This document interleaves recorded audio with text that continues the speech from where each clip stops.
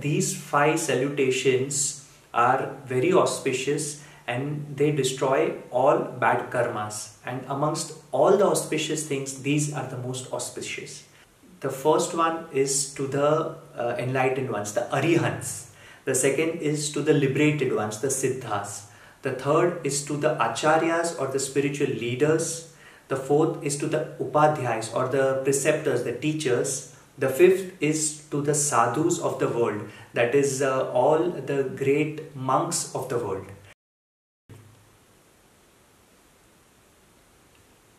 नमो अरिहन्ताणं नमो सिद्धाणं नमो आयरियाणं नमो उवचायाणं नमो लोये सव्वसाहुणम् एषो पञ्चनमुकारो सव्वपावपणासनो मङ्गलानं च सव्वेसिं पडमं हवै मङ्गलम्